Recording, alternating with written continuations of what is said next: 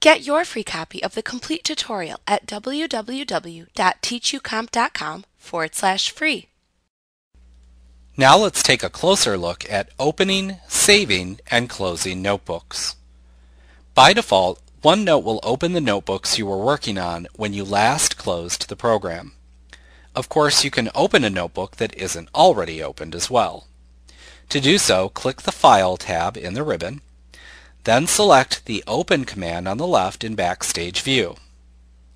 If the notebook is stored in the cloud, then you can click the Sign In or Login link or button to the right to log into your Microsoft account and open it from SkyDrive.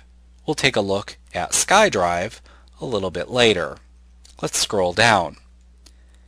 If the notebook is stored on your computer, then you should instead select Computer under Open from Other Locations here on the left, and then click or tap the Browse button on the right-hand side at the bottom.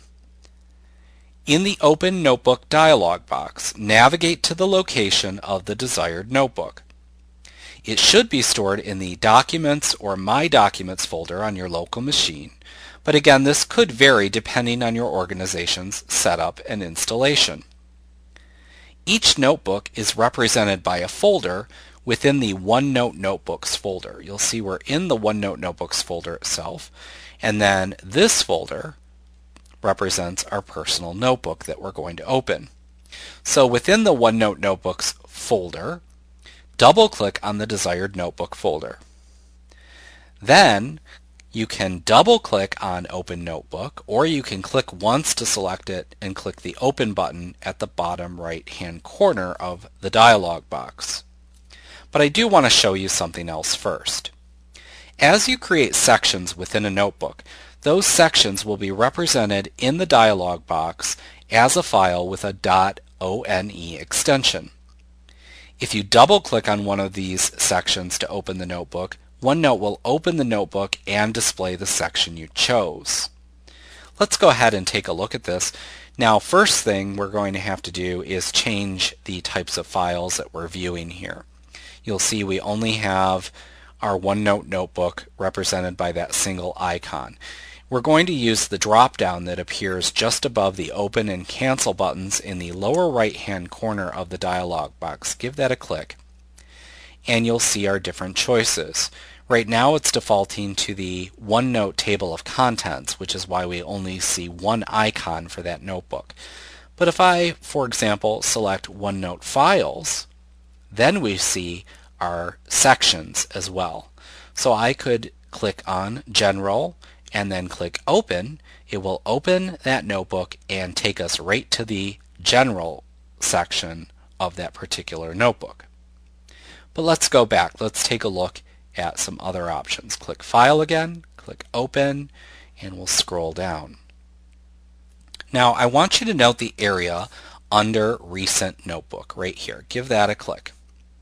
If the notebook you wish to open appears in this area, you can just give it a click to open it. And this works in the same way as our other applications with files that you may have recently opened. So you can make that selection instead of navigating through your computer each time if it appears over here to quickly open it. Let's go ahead and exit Backstage View and talk about how we save and close our notebooks. Working with files in OneNote is different from working with more traditional Microsoft files, such as a Word document or an Excel spreadsheet. The first thing to understand is that OneNote automatically saves changes as you make them to your notebooks. So there's no need to constantly save your pages as you work on them, since that's already being done for you by the program. Now since OneNote is constantly saving your work, you can close the program at any time by clicking the X in the upper right hand corner of the application which also automatically closes the notebooks of course. And that's located right up there. You could give that a click to close it if you like. However, there may be times when you want to actually close a notebook without closing the entire program. You can close a notebook by right-clicking on the button of the notebook that appears in the Notebook drop-down and then choosing Close this notebook from the menu that appears. So we can go to the drop down, we can right click on our notebook, and then we'll see the command at the bottom, Close this notebook. And you can give that a click and it will close the notebook. Now you can also close a notebook by using Backstage View. So let's go ahead and go to Backstage View by clicking the File tab in the ribbon. And this time we need to open our notebook back up because we just closed it. So first I'm going to open it. I'm going to scroll down again. And I'm going to say this time Recent Notebook because there's our personal, so I'll give that a click, and now it's open. Now to close it from Backstage View, click File again, and this time we're going to look under notebook information to the right and you'll see the various notebooks. Here's our personal notebook. To close it, click the settings button here and then simply click close from that menu. Give that a click and that will close the notebook as well. Like what you see? Pick up your free copy of the complete tutorial at www.teachucomp.com forward slash free.